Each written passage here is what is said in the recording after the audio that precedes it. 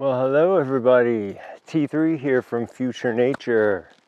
So, by now, if you are a member of my mailing list, uh, you've probably received an email about uh, one of the second hardest things I had to do in my life, and that is start a second round of crowdfunding uh, to keep Future Nature going. Um, one thing that blew my mind about the first campaign is even though I didn't reach my goal, I met so many awesome people that have been helping me in so many amazing ways. Uh, everything from website design to marketing, you know, the skills that I don't possess. And not only that, uh, you know, I've managed to book a few private classes um, that were separate from the campaign and I've met a lot of really cool people because of it. But as us outdoor instructors know, you can't collect payment for a class until the class has been ran. And even though I've got several of them on the books, um, you know, they're not for a, a while yet. And I really need to slow down and I really need a break in my life. Um, my Lyme's disease is at uh, a manageable level, but uh, just the amount of effort that I'm putting into just trying to make it uh, day by day uh, is just slowly wearing me away, you know, wearing me down to nothing.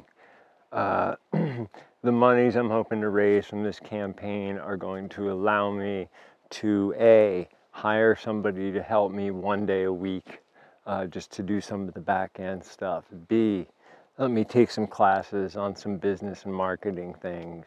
And most importantly, C, help me cover the expenses until I can run these classes and book some more.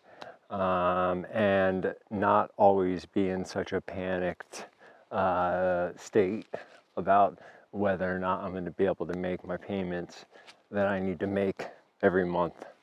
Um, I believe in this vision so much that I know I'm not meant to do anything else.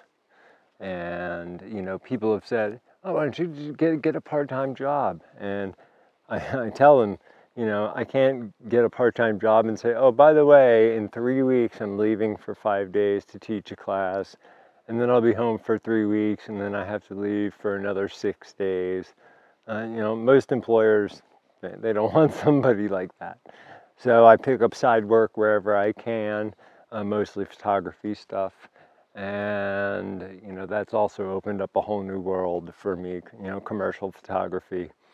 Um, so, you know, the funds I raised in the initial campaign were put to good use. But I'm in a space now where, you know, I need a little bit of a uh, savings cushion in case something goes wrong with my car or you know any other million things pops up. So you know thank you all for taking the time to watch this um, and i don't just need monetary help you know.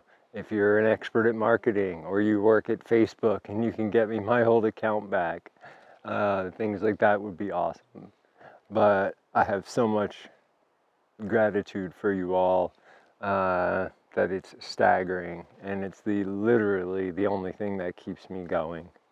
Um, you know, I got an email from a student the other night um, about she put uh, some of the practices I taught in one of my webinars to use when she was in the woods, and she had this amazing experience. And getting emails like that are what keep me going and what make me believe so wholeheartedly in my cause that it's worth the struggle, you know, and trying to raise money and keep it going. So if nature's ever had a had a positive effect on your life, uh, donate. You know, another big help would be to share this. I am currently cut off at the knees when it comes to social media marketing mostly because I don't have any money, but the main reason is because of my hack that I suffered last year. Uh, I still can't, they won't let me run any sort of ads because uh, even though I created a new page, I still had to use my name and my date of birth and my social security number.